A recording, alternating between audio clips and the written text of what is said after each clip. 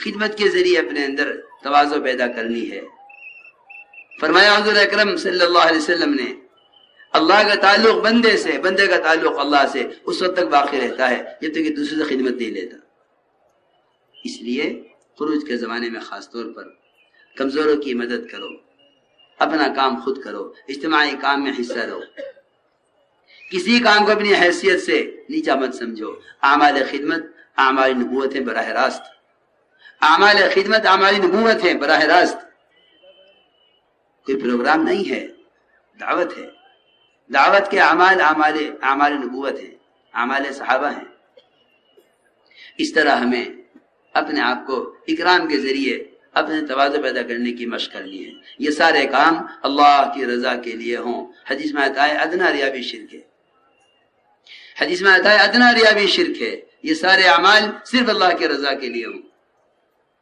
इसलिए अपनी नीयतों को टिटोलते रहे। हर अमल में बार बार अपनी नीयतों को सामने रखे। अल्लाह से रो रो कर इखलास मांगते रहे।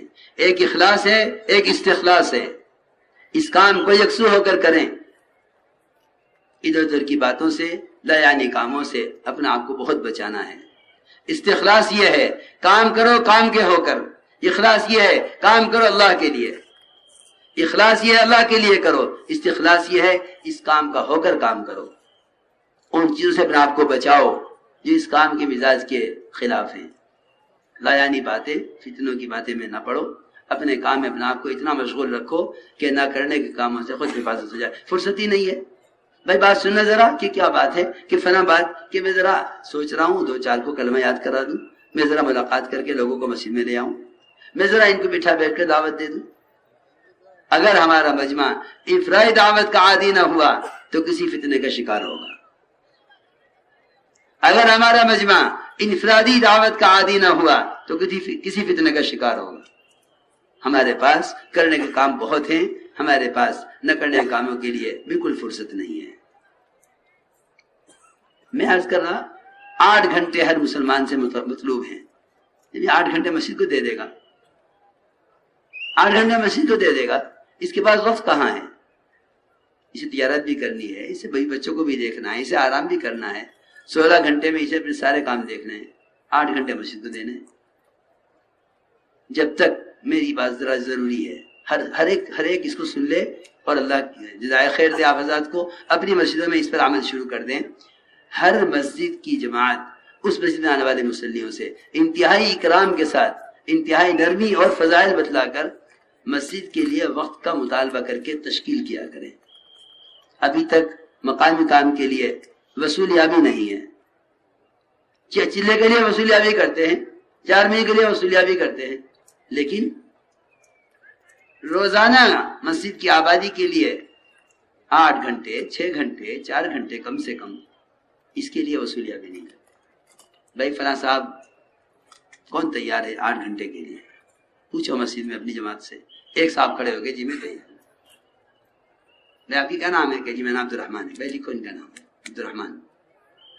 अब्दुलरहमान आठ घंटे के लिए तैयार है। भाई, और साथी? अब जी, मैं भी तैयार हूँ भी तैयार हूँ भी तैयार हूँ भी तैयार एक खड़ा है कि जी, मैं आठ घंटे नहीं दे सकता, मैं मुलाजिम हूँ। सुबह चार घंटे दे दूँगा, शाम को चार घंटे दे दूँगा। जी, ठीक है मुनासिब है। मैं फला काम में हूँ, मुझे आठ घंटे में मुसलसल नहीं दे सकता। कोई हरज नहीं। आप तीन घंटे सुबह दें, तीन घंटे शाम को दें, तीन घंटे रात को दें। ईशा की नमाज़ के बाद भी मस्जिद की आबादी का अमल किया जा सकता है नहीं, करना चाहिए। सुन्नत है। हजूर अक्रम वसल्लम ईशा की नमाज़ ताखिर से होकर मस्जिद नबी में, आप ईशा के बाद जाते थे अंसार के महल्ले में। खड़े खड़े आप अंसार को ही जैसे मेरे के वाकत सुनाते। आपके पैर वरम हो जाते, खड़े खड़े। आप एक पैर उठाते एक रखते रिवायत में। देर तक खड़े खड़े अंसार को हिजत से पहले का वाकत सुनाते, इस रास्ते की तकालीफ और अजियत होगी। काम तंजीम नहीं है, जो मुसलमान जब जहाँ मिलेगा। अंसार काश्तकार थे, दिन भर नहीं मिलते थे। आप उनसे मुलाकात के लिए ईशा की नमाज़ जबकि वसनवी में ताखिर से होती थी, आप ईशा के बाद जाते थे। तुम्हारे महलों में तो नमाजें अव्वल वक्त हो जाती है। अगर इस वक्त फारिग वक्त को दावत में नहीं लगाओगे इबादत में नहीं लगाओगे तो ये वक्त किसी गुनाह में यकीन इस्तेमाल होगा। इसलिए मैंने अर्ज़ किया कि इस तरह हमें, यानी अपने वक्त की हिफाजत करनी है और लाइनी बातों से बचना है। बहुत सी चीज़ें, बेअसल तो मोबाइलों का जमाना है। पहले तो गिबत करने के लिए कोई किसी के पास बैठ जाता था कभी कभी बैठना हो गया, वो वहाँ में यहाँ। अब तो हालत यह है एक इस मुल्क में बैठा है उस, उस मुल्क में बैठा है गिबत चल रही है। लोग कहते हैं इन चीज़ों से सहूलत हो गई। मैं कहता हूँ कि दीन का काम में तो कोई सहूलत नहीं हाँ गुनाहों में बड़ी सहूलत हो गई। रिकंस्ट्रक्शन ऑफ़ उम्मा इन आलात ने गुनाहों को इज्तमाही बना दिया। इन आलात ने गुनाहों को मुतादी बनाया। इन आलात ने गुनाहों के लिए जमा होकर बैठने की ज़रूरत को खत्म कर दिया। दूर रहकर भी गुनाह कर सकते हो आपस में। देख लो। हदीस में आता है, एक आदमी को झूठा होने के लिए काफ़ी है कि सुनी हुई बात को आगे बढ़ा दे। ये ना रिवायत में कफा बिलमरी कजीबन मा समिया। इसलिए मेरे दोस्तों, अजीजों, अपने आप को आदि बनाओ काम का, या का हमारा काम हमारा वक्त तीन कामों में गुजरेगा। ये दावत में, या इबादत में, या उलमा के मजालिस में, सीखने सिखलाने में। बस ये तीन काम है। हतमा फरमाया करते थे, अगर ये तीन काम दुनिया में ना होते अल्लाह के रास्ते में फिरना पहली बात है। जिसे आज लोग कहते हैं भी कोई काम है? ये भी कोई काम है? हजमत कह रहे हैं, अगर अल्लाह के रास्ते फिरना ना होता, मैं दुनिया में रहना पसंद ना करता। अगर अल्लाह के जिम्मे लंबे लंबे सजदे करना ना होता, मैं दुनिया में रहना पसंद ना करता। अगर हक की मजालिस में दो जानों बैठ कर, उनकी बातों को उमदा खजूर की तरह चुन चुन कर, जैसे खाई जाती हैं ऐसा इल्म इस्तीफादा ना होता उलमा की मजालिस से, मैं दुनिया में रहना पसंद ना करता। हर उमर तो इस उम्मत के मुलहम है। सही बात उनकी ज़ुबान पर डाली जाती थी। फरिश्ते उनकी ज़ुबान पर बोलते थे, वो कह रहे हैं कि तीन काम दुनिया में दुनिया में रहने के लिए सिर्फ़ तीन काम है, वरना दुनिया में रहने का कोई मज़ा नहीं है। दावत, तालीम और इबादत। अगर तीन काम ना होते, मैं दुनिया में पसंद ना करता।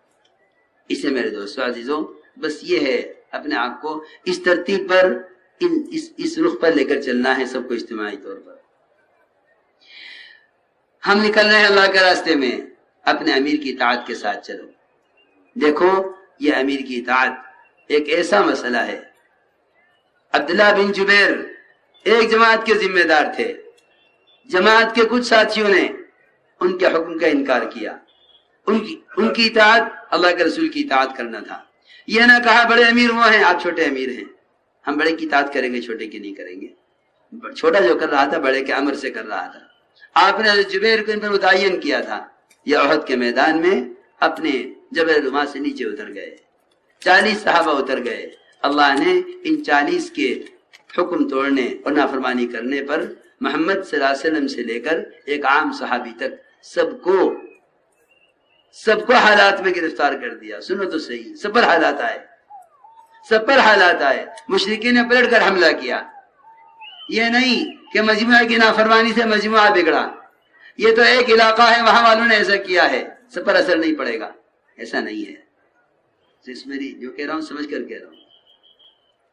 साथ चलने वाले एक जुज की नाफरमानी का असर कुल पर पड़ेगा। आप देख लीजिए। बहुत के मैदान में साहबा ने साहबा को कतल किया। आपस में भिड़े।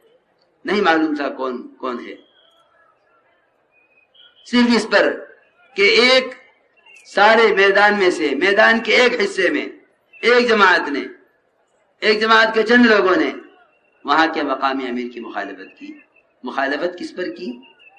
कि आपसे बड़े जिन्होंने आपको यह हुक्म दिया है, हम अब इस हुक्म को नहीं मानेंगे। इस पर सारा मैदान अहद मुसलमानों के हाथों से निकलकर गैरों के हाथों में गया। इसलिए अर्ज़ कर रहा हूँ, अपने अमीर की इतात के साथ चलो। अमीर जिस चीज़ का हुक्म करे उसे पूरा करो। जब तक तुम्हें तुम्हारा अमीर नमाज़ छोड़ने पर और कुफर पर आमदा न करे, उस वक्त तक इतात करना है। यहाँ तक फरमा दिया कि इतात में इतनी वसात है।